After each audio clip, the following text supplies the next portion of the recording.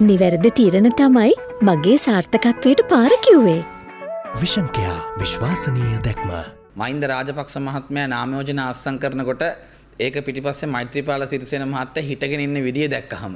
ඉතින් ඒ නිසා ඇත්ත වශයෙන්ම අපි කියන්න ඕන මෛත්‍රීපාල සිරිසේන මැතිතුමා දෙදස් පහළවේදී අපේ පැත්තට ඇවිල්ලා UNP කාරයන්ගේ දාඩිය මාන්සිය ලේ කඳුළු වලින් බලයට පත් වෙලා UNP කාරයට කොකා පෙන්නලා ශ්‍රී ලංකා නිදහස් පක්ෂයේ නායකත්වය අරගෙන ශ්‍රී ලංකා නිදහස් පක්ෂය හරහා UNP එකට කෙලවන්න හදපු එකේ පඩිසන්දීමත් තමයි දැන් එතුමට ලැබෙන්නේ. අද දනගාගෙන බඩගාගෙන ගිහින් ලෙවකන්න තත්ත්වයක් සිද්ධ වෙලා තියෙනවා ශ්‍රී ලංකා නිදහස් පක්ෂයට පොහොට්ටුවෙන් නාම යෝජනා ලබා ගන්න.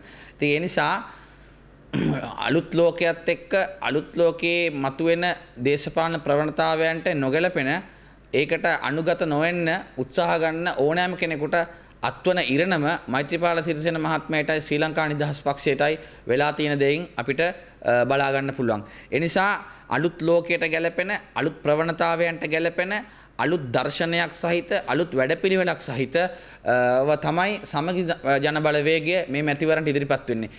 breaking.lk